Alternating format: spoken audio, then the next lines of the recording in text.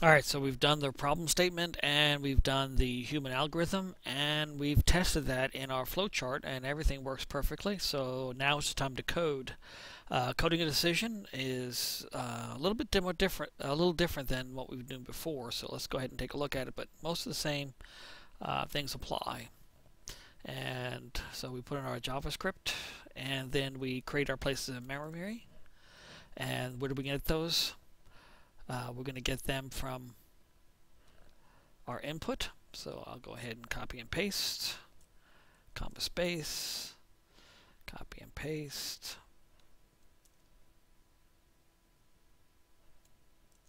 comma space. Don't need that yes and no. That's just going to be part of our question. So I'll copy and paste. And I'll end that here. Um, well, let's go. Let's keep going. Um, I have rate because it's not that much. comma space. And then the last thing is final fee. And we can fit that all in one line, so why not? And then I end it with a semicolon. Okay, so we have uh, number of dogs, number of hours, weekday, final fee, and I must have copied over rate. Alright, so there we go. Alright, so that is our um, blank places in memory that we need. And next thing we're going to do is put in our assumptions. And those are the two rates that we have here, so I'm just going to go ahead and copy these. And paste them in. And then I'm going to put var in front of both of them because I'm going to declare these places in memory and then put something in them all in one step. And semicolons at the end. Alright, so now we're ready for our input. When we have three input to do. First one is number of dogs. So I copy that and paste it in.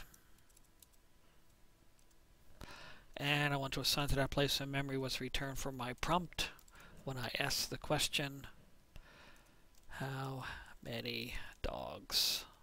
Question mark, close quote. And my second argument is the default value, and I'm just going to do quote space quote, and then end my line, parenthesis and semicolon. Alright, then the next one is the number of hours. I'll copy that, paste it in. Okay, and I need, might as well take the rest of this and copy it down. The only thing I got to change is how many hours, because we won't have a default value for that either. And then my last one is going to be weekday.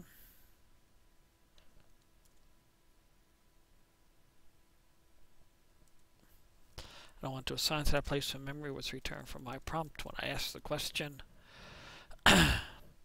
is it the weekday? Question mark. Um, and then yes slash no. Um, and then my default value is going to be yes. Um, whenever you're going to be doing a decision and you want them to answer a certain way, uh, we always put what we want them to type in in that prompt. Um, if you just said, is it a weekday? Um, and they go, um, yeah, and they type that in, it's going to be a, as if they typed in no. So we're going to um, always put in uh, into the question what we want them to type. All right, so that's that's that. And now our calculations.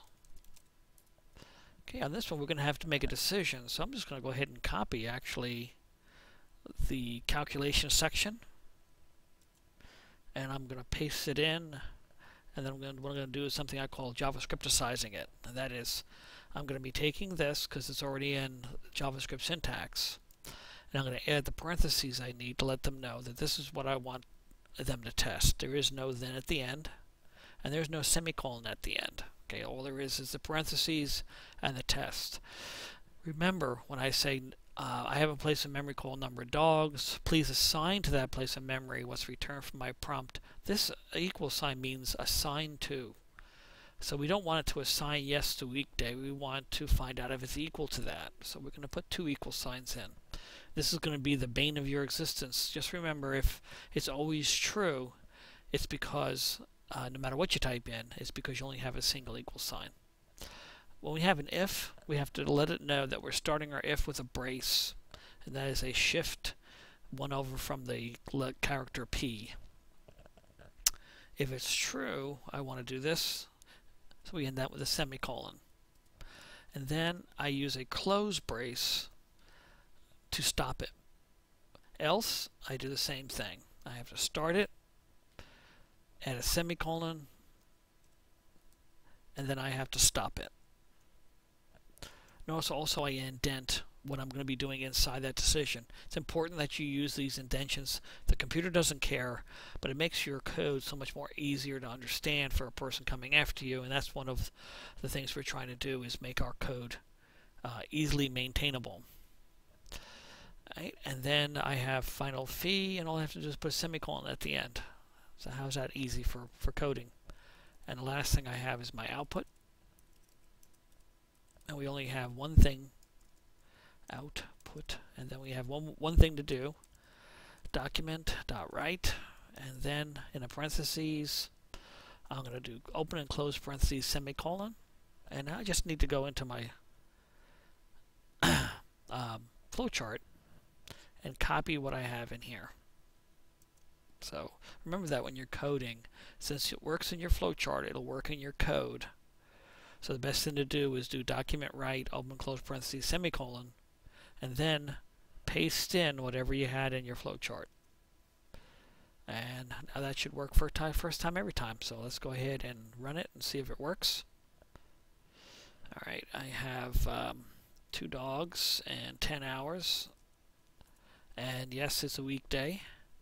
So that's 2 times 2 times 10 times 5. So that's 20 times 5 is 100.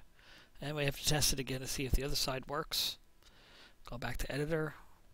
Okay, we'll have two dogs, 10 hours. This time we'll say no.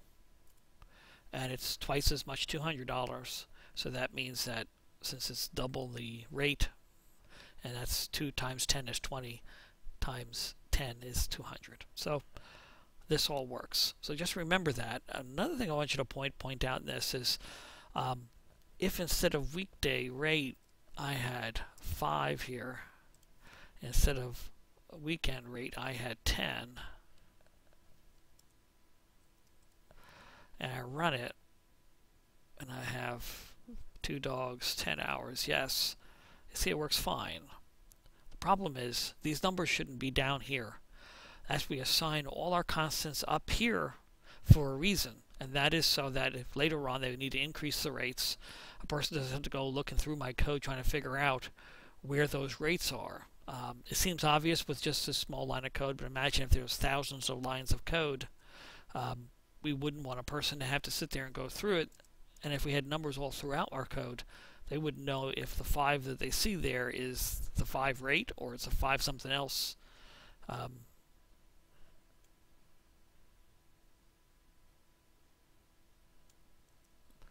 So we always go ahead and assign our constants up above and then we just reference those in our code.